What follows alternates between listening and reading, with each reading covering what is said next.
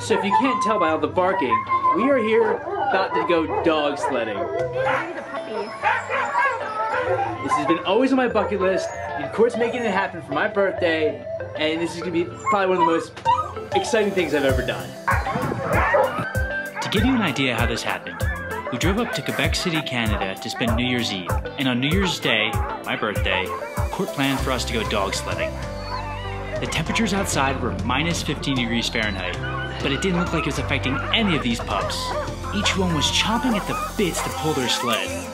They all looked and acted like consummate professionals, and after no lie, a 15 second bit of instructions, we were off and running.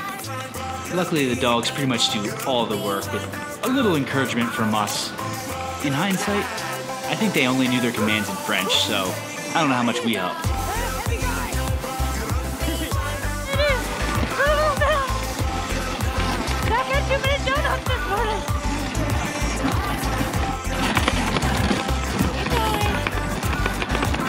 Keep going, girls. Go. Hey, go. Go.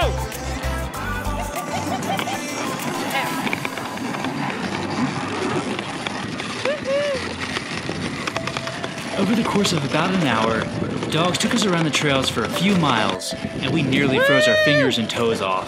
But it was so worth it. You did great today. And then afterwards, we made sure we rewarded our team with some treats. Hey, hey, hey, hey. Oh. Ah! No. But at the same time, you go once. really? Here you go. Nope. You good at me? Aw. She's what the? There you go, girl. It's like too big for her.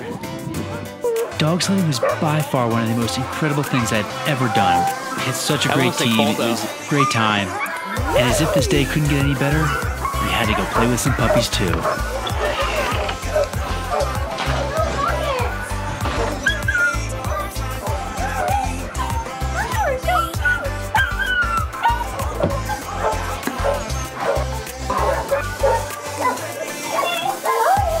Aw. You long day, bud?